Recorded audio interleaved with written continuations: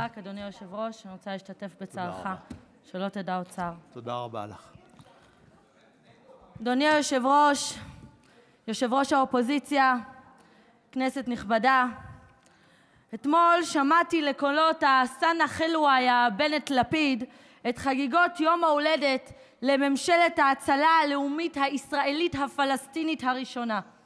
ובכן, אתמול חשוב שתדעו, במקרה ככה הובא לידיעתי שלמצבו של בנט יש מושג פסיכולוגי הנקרא גזלייטינג.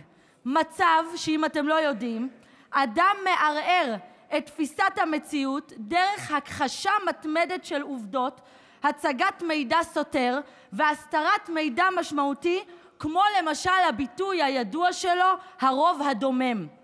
עצם השימוש של בנט בביטוי הזה, הרוב הדומם, הוא-הוא גזלייטינג, המצאה אמורפית, למי שלא יודע, של פוליטיקאי חסר אלקטורט. שהרי מיודענו בנט הוא נוכל טרמפיסט הרפתקני, ששומע קולות דוממים, הוא מדמיין שהוא מתווך בין מעצמות, הוא-הוא מצליח לתווך בין מעצמות. בפועל הוא לא מצליח לתווך בין שמרית מאיר לטל גן צבי. ובמסגרת אותם דמיונות, חבורת הנוכלים הרי לא מפסיקים לפמפם לנו סלוגנים על איחוי וריפוי, על החזרת הנורמליות, על היציאה משיתוק. אפילו לפיד הרזרבי הגדיל ואמר שכל העולם כולו רוצה ללמוד את המודל החדש, המודל הייחודי הזה, שבו כל אי-הסכמה נפתרת בהרמוניה משותפת, בשקט ובהסכמות בין ימין לבין השמאל. ממש חזון הנביאים, באמת, יש פרה אדומה בפתח העיר ומשיח בן דוד רוכב עכשיו על חמורו הלבן. הרי חברים, ברור לכולם שאת כל גיבובי השטויות האלו אפשר לספר רק לרוב הדומם שאתה שומע בראש שלך. כן, אותו רוב דמיוני דומם. הרי הרוב הציוני אומר את דברו בצורה ברורה, ללא כחל וסרק, בכל סקר אפשרי.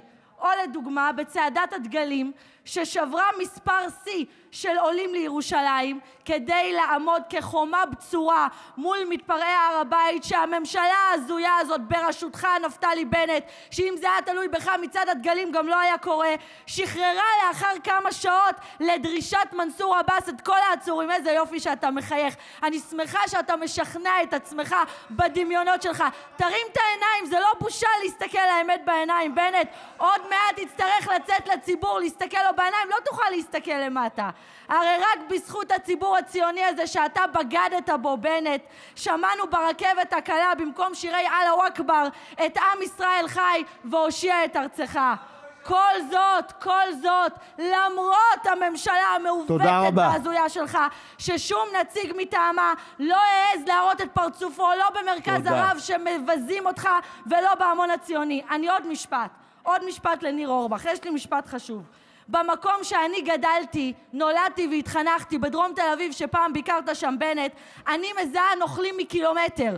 גם את הכאבי בטן של איילת החיילת וגם את הכאב שיניים של גדעון סער. והבוקר קראתי שניר אורבך אומר שאתה חבר, בנט, ושהוא דואג לעתידך.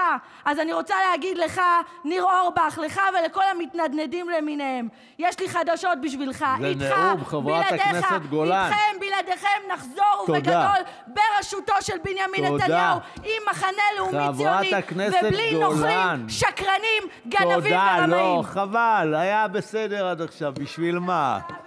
תודה. תודה רבה לחברת הכנסת אה, גולן. חבר הכנסת קיש,